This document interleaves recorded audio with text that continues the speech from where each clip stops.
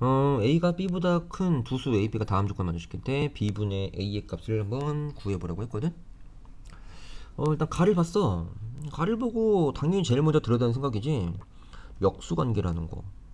맞지? 역수관계야. 모르면 안 돼. 그 역수관계니까 맨날 하던 거 써도 되나? t 플러스 t분의 1은 15분의 34 이렇게 가는 거지. 음. 그럼 t를 구할 수 있을 거냐? t밖에 없으니까 방정식이.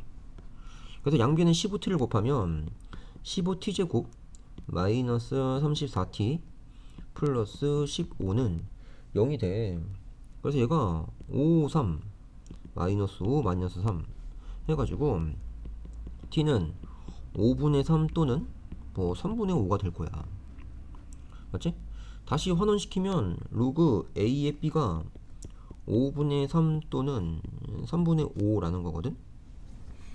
뭘까? 라고 물어보면은 여기 있지 a가 b보다 커 얘가 얘보다 크다고 그럼 얘가 얘보다 크면 둘 중에 누구야? 당연히 얘지 그래 얘가 얘가 더 크잖아 그러니까 로그 a의 b는 5분의 3이라고 이렇게 음.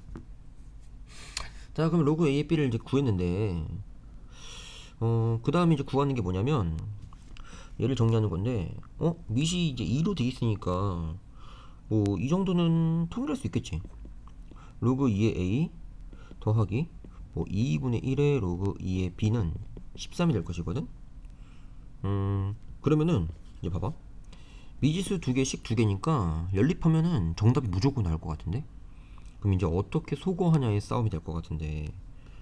어 소거를 한번 해볼까? 얘를 한번 이용해 가지고 한번 소거를 한번 해보도록 하자. 이 방법이 너무 많아 가지고 그건 이제 하고 싶은 대로 하면 되는 거지. 난 여기 이제 2니까 얘를 실제로 밑변환 공식 2를 써서 이렇게 쓰고 싶네. 로그 2의 a분의 로그 2의 b는 5분의 3 그럼 이제 크로스 곱을 하면은 5 로그 2b는 3 로그 2의 a 되는 거지.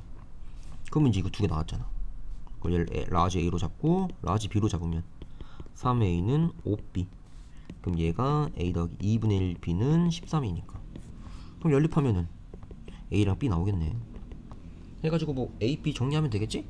음 그렇게 하면은 계산 끝날 것 같아 아무튼 이거 두 개가 역수관계인 거 발견하는 게 되게 중요한 것 같아 맞지?